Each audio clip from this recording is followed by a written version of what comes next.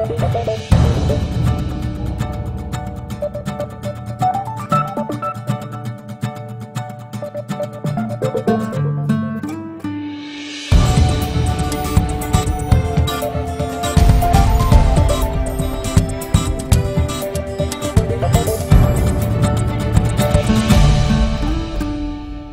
damos la bienvenida a Empresa de Todos, el informativo del municipio industrial de Risaralda. Bienvenidos.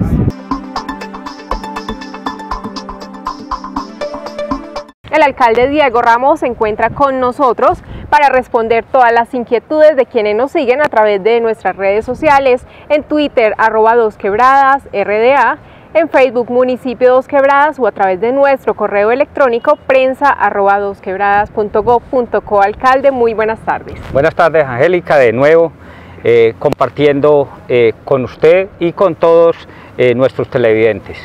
Recuerden que pueden expresar todas sus opiniones o sus preguntas para trasladarlas directamente al alcalde Diego Ramos. Empezamos con una decisión que ustedes tomaron en días pasados, como fue la declaratoria de calamidad pública del municipio de Dos Quebradas. Todo esto a razón de los hechos naturales que han acontecido en esta localidad. Alcalde, aproximadamente cuántos vendavales, cuántas situaciones de estas han ocurrido durante todo su gobierno. Estos eventos dentro de nuestro gobierno, que llevamos alrededor de 26 meses, pues nos eh, llevamos también 25 eventos, casi uno por mes. Ya de verdad que, que nos enseñamos a, vivir de esta manera aquí dentro de nuestro municipio. Entonces nos tocó tomar esa, esa decisión eh, para que el gobierno nacional nos pueda ayudar, para que el gobierno departamental nos ayude de nuevo, porque en solo ocho días pues se nos afectaron más de 130 viviendas dentro de nuestro municipio y tuvimos que eh, tomar eh, toda esta decisión para cumplir jurídicamente. Bueno, los invito para que conozcan un poco más sobre todas estas vulnerabilidades que presenta el municipio de Dos Quebradas a nivel ambiental. El municipio declaró calamidad pública a fin de gestionar recursos ante la Unidad Nacional de Gestión del Riesgo de Desastres que permitan dar solución y atender la situación generada por los vendavales del presente año ocurridas en los meses de enero y febrero. Con esta declaratoria, la localidad busca estar preparada para futuros eventos, puesto que Dos Quebradas cuenta con múltiples vulnerabilidades en materia de deslizamientos, a la pluviosidad y a un clima muy cambiante, a los fuertes vientos y con ello los vendavales, ocasionando daños y pérdidas económicas en los habitantes del municipio. Pues Dos Quebradas está expuesto a deslizamientos por la calidad de los suelos, que son suelos blandos, en su mayoría producto de cenizas volcánicas, a fuertes vientos, a una diversidad en cuanto a la lluvia. Cerca a Boquerón tenemos una pluviosidad de 3.400 milímetros y en la parte baja tenemos una pluviosidad de 2.000 milímetros, 1.800, 1.600, de varía. Entonces es un, un clima muy, muy cambiante en un municipio tan pequeño. Alrededor de 130 familias recibieron elementos propios para solucionar la emergencia de la cual fueron víctimas en días pasados por el último vendaval. Alcalde, ¿qué elementos les fueron entregados en esta ocasión? Bueno, se le entregaron eh, hojas de zinc, tejas de terní, eh, las respectivas amarras, porque esto sí lo estamos implorando, que teja que eh, van a colocar nueva, así sea de, de zinc o de o de terní, pues que la amarremos bien, que esas cuatro amarras que les damos por teja, pues que, que de verdad sea un compromiso, no es para tenerlas allí eh, en un cajón guardadas, sino para colocarlas, para que nos ayuden a proteger pues de todos estos eh, eventos, de estos siniestros que pasan por estos huracanes, estos vientos que hay dentro de nuestro municipio, que no desconocemos qué es lo que pasa, pero eh, de verdad lo, lo volvemos a decir, ya eh, estamos eh, eh, en este momento pues ya nos encontramos todos los semanalmente con un evento semejante. Entonces hemos querido entregarles también kits de cocina, mercados, colchonetas, con todas estas ayudas que nosotros mantenemos listas para en una reacción de 36 horas por tardar, pues le, le estamos ayudando con estas uh, pequeñas eh, donaciones que nos da el mismo gobierno nacional. Bueno, eh, la señora Blanca Flor Bedoya Montoya nos escribe, gracias alcalde por estar al frente de las personas con calamidad. y cómo van las gestiones ante el gobierno nacional. Esto es precisamente eh, por todos estos elementos que ustedes permanecen, tienen en bodega, pero digamos qué va a pasar en un futuro. No, vivimos gestionando continuamente, diciéndole al gobierno nacional, tenemos muchos problemas dentro de nuestro municipio, valga la redundancia, dos quebradas no son dos quebradas sino más 30, o sea, como tenemos 32 quebradas alrededor que no circulan, esta es la grave problemática que tenemos con todo este sector de, del alto del nudo, del alto del toro, tenemos, eh, somos muy propicios que se encajonan estos vientos y, vienen con granizada y ahí es donde nos ocurren eh, todo lo que ya ustedes conocen. Entonces, eh, Llevamos más, más o menos, más de 5.500 eh, eh, personas o, o, más bien eh, techos de, viviendas que se han perdido en estos 26 meses que llevamos en esta administración. como ya aprendimos un poco de lo que pasa dentro de nuestro municipio, entonces vivimos siempre alerta, siempre alerta con todas eh, estas ayudas humanitarias dentro de, eh, dentro de unas bodegas, teniendo este colchoncito, porque eh, definitivamente no sabemos en qué momento, como pueden pasar dos meses sin suceder nada, puede pasar solamente una semana. Las personas afectadas nos contaron cómo vivieron esta última emergencia. Cerca de 130 familias recibieron ayuda humanitaria consistente en tejas de ternit, hojas de zinc, colchonetas y mercados. Todo ello para mitigar la situación de emergencia que vivieron en los últimos días a causa de la ola invernal y que a la fecha alcanza un consolidado de 110 familias damnificadas por los vendavales ocurridos en la localidad y la verdad es que se está mandando a la unidad de gestión del riesgo a nivel nacional para que nos apoye. Pero aquí tenemos pues un pequeño recurso que estamos repartiendo de acuerdo a las necesidades de las personas que resultaron afectadas con el evento. Eso fue antier, en ese vendaval. Se rompieron un poco de tejas, el cual la, la Cruz Roja fue y nos hizo entrevistas y nos dijo que bajáramos acá por unas tejas. No, siempre el vendaval estuvo muy fuerte y pues en mi casa se levantaron muchas hojas, más que todo pues como queda sin un filito, pero se levantaron todas, quedamos siempre muy afectados, el vendaval fue muy fuerte. Con este hecho natural fueron afectados 13 barrios del municipio, entre ellos Violetas, Diego Jaramillo Cuartas, Los Rosales, Vereda Buenavista, entre otros sectores de la Comuna 5 especialmente. Creo que mi casa está muy deteriorada está totalmente mal. Mm, el techo del patio se desplomó con el vendaval del sábado en la tarde. Muchas gracias, muy agradecidos porque están pendientes de, de las cosas que pasan así graves y toda la comunidad. Muy bien. Los daños correspondieron a inundaciones y destechamientos, al igual que una vivienda fue destruida por la quebrada Molinos en San Fernando Bajo y otras tres viviendas del sector resultaron inundadas. Alrededor de 2.500 habitantes de los proyectos de vivienda gratuita del Gobierno Nacional, Millennium y El Ensueño serán beneficiados con los parques biosaludables, un proyecto en el cual Dos Quebradas fue beneficiado, fue escogido por el Gobierno Nacional. María del Socorro Oviedo Perdomo expresa, estas personas son las que más requieren estas obras, excelente. Ella, por supuesto, se refiere a que son población directamente vulnerable.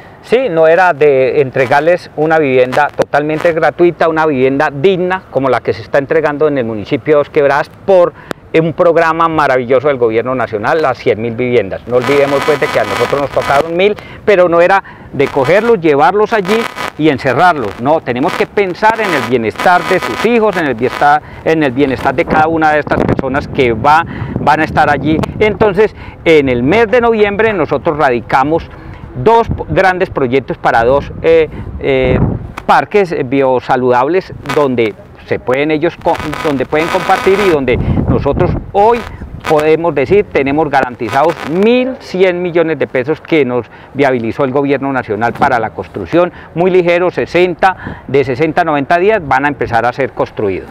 Crear ambientes y zonas verdes agradables para todos los habitantes de, de estos barrios y sobre todo generar un buen aprovechamiento del espacio libre será el proyecto con el que Dos Quebradas fue beneficiado junto con otros 29 municipios de todo el país. Los 2.500 habitantes de los proyectos de vivienda gratis, Millennium y El Ensueño serán favorecidos con la construcción de dos parques biosaludables. proyecto del Ministerio de Vivienda y Coldeportes, en el que fue seleccionado Dos Quebradas para la ejecución de este proyecto piloto. El valor de cada parque será de 550 millones de pesos para un total de 1.100 millones. Fue así como funcionarios de Coldeportes y de Findeter, entidad que ejecutará los recursos, realizaron un recorrido por los proyectos de vivienda para analizar los terrenos y la viabilidad de los proyectos en dichas zonas. Pero la idea es hacer unas cosas con texturas, colores, biosaludables, pueden ser canchas, temas con, con, rampas para el tema de skate, que son deportes urbanos, que es lo que queremos pues, establecer en Coldeportes llegar a toda la sociedad de Colombia con esta clase de proyectos. Realmente, digamos, todas estas urbanizaciones, sin tener estos, digamos, estos, estos sitios de, de, esparcimiento, sin tener, digamos, la complementación de tener, digamos, eh, zonas, digamos, para estudios, sin tener, digamos, eh, zonas de salud, no son, no son complementarios. Usted ve que esos son poblaciones muy altas, los de las viviendas de interés prioritario, entonces son necesarios complementarlo con, estas, con estos programas. El secretario de Obras, Oscar Herrera, precisó que su impacto será importante para generar actividad física en esta población vulnerable. Pues lo que hemos querido entonces en este momento es desarrollar unos proyectos de parques biosaludables, como tú lo decías, en donde la pretensión es eh, construir gimnasios al aire libre, ciclorrutas, digamos una, una mezcla entre la zona verde y la zona dura, más o menos un 80-20, donde eh, estamos siguiendo los lineamientos de Coldeportes en ese sentido. Este es un proyecto piloto que se realiza a nivel nacional, donde Dos Quebradas quedó inscrito gracias al trabajo realizado entre el Gobierno Nacional con la presentación a tiempo de los proyectos, ya que son solo 30 municipios los afortunados de contar con esta inversión. Los organismos de socorro del municipio de Dos Quebradas recibieron elementos, entre ellos una ambulancia para la prestación de los servicios de emergencia en el municipio de Dos Quebradas. Señor alcalde, esto fue gracias al apoyo y a la participación conjunta del gobierno departamental, el gobierno local y también Ecopetrol. Así es. Vimos la necesidad también cuando llegamos a, esta administración de que la defensa civil, que tiene una gran participación cada que pasa un evento semejante a lo que sabe ocurrir, cualquier emergencia, ahí están toda esa parte humana ayudándonos, pero no, no contaba con unas herramientas que, eh, que se necesitan para prestar el mejor servicio oportuno en una calamidad eh, semejante a lo que hemos vivido dentro de nuestro municipio. Necesitaban una ambulancia y efectivamente el gobierno departamental, la empresa Ecopetrol y el municipio aportamos conjuntamente y hoy por hoy pues pueden ver eh, la ambulancia que tiene la defensa civil, que tiene esas personas que su lema es estar listos en paz o emergencia. Recuerden que recibimos todas sus opiniones a través de nuestras redes sociales. Alcalde y frente a este tema, Mauricio Tavares nos escribe, me gusta mucho ya que muchos cuerpos de bomberos no cuentan con casi nada. Felicitaciones. Los invito para que observen ustedes la nota de todos estos elementos recibidos por los organismos de socorro, lo cual les permite atender situaciones de emergencia, como la acontecía en Villa Carola en el año 2011.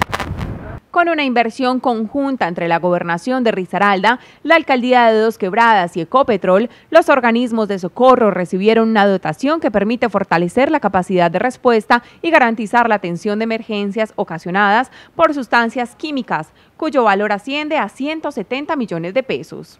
Definitivamente a raíz del fenómeno, de la problemática que se con Villa Carola, de, de esa tragedia que nos enlutó aquí en Dos Quebradas, el municipio y toda la institucionalidad articuló todos esos esfuerzos. Obviamente Ecopetrol ha estado muy comprometida, el gobierno nacional, y entonces Dos Quebradas en este momento está mucho mejor preparada que antes. Próximamente regresaremos nuevamente al municipio de Dos Quebradas para hacer un aporte al cuerpo de bomberos, esta vez lo hacemos con la defensa civil, pero el próximo mes estaremos acá con el, con el cuerpo de bomberos. Uno de nuestros compromisos es con la vida, tanto de las comunidades y y si llegase a presentar cualquier evento aquí en Los Quebradas, que aquí hay muchas industrias, también puede ser un aporte importante por parte de los bomberos a atender la emergencia.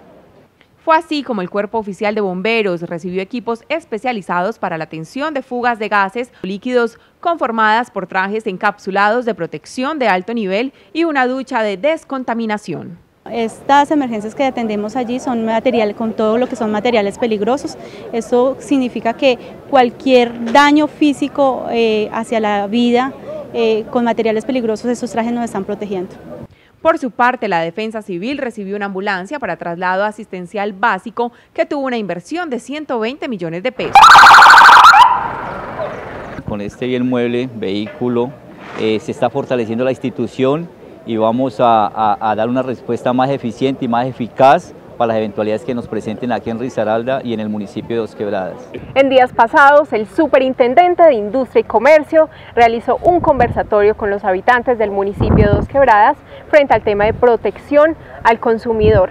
Este es el caso pues, para él mencionar que los alcaldes de todas las localidades tienen la función de ejercer vigilancia, inspección y control en todos en todas las municipalidades del país. Frente al tema, Dos Quebradas ya tiene, está muy avanzada frente a ello, ya que tiene creada la Liga del Consumidor.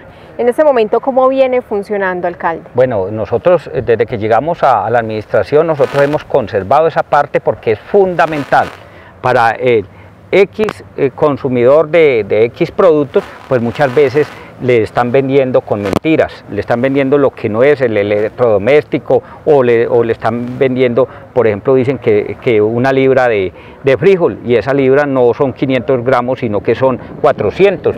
Eh, nosotros estamos atendiendo en la Casa de Justicia y Paz dentro de nuestro municipio, tenemos dos funcionarios siempre atentos a, a servirles y a, a, y a y a darles como toda esa capacitación, todo ese, todo ese acompañamiento cuando tienen eh, problemas semejantes como los que les acabo de describir.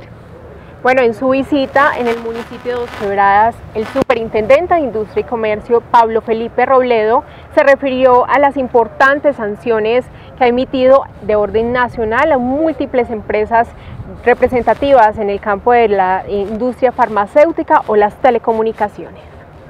El superintendente de Industria y Comercio, Pablo Felipe Robledo, realizó el conversatorio denominado Protección al Consumidor, donde explicó las funciones de dicha entidad de orden nacional y su papel en materia de inspección, vigilancia y control, frente a lo cual enfatizó en que cada alcalde municipal debe ejercer también esta tarea. Durante el evento también se refirió a sanciones que se mantienen a importantes empresas de orden nacional en materia de farmacéutica y telecomunicaciones. Efectivamente, en diciembre se impuso una sanción de primera instancia por una suma cercana a los 9 mil millones de pesos a Audifarma, si mi memoria no me falla, por haber vendido cuatro medicamentos por encima del precio máximo autorizado.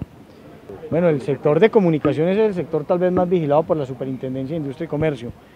Yo, el tema hay que dividirlo en dos. Uno lo que tiene que ver con el tema de la calidad de la llamada telefónica o de la transmisión de datos que implica todo ese tema de la que tanta la gente se queja, llamadas caídas y llamadas fallidas, y hay muchos factores, unos imputables a los operadores y otros no. Al conversatorio asistieron empresarios, entidades públicas, privadas, líderes y comunidad en general, un ejercicio frente al cual el superintendente manifestó que se busca desbogotanizar la entidad.